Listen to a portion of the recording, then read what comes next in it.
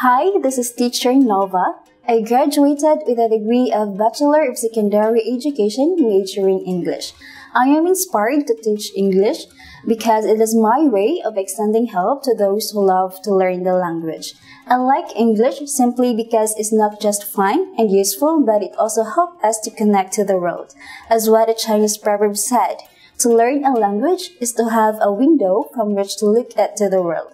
So let me help you to open an opportunity to connect with the people around the world.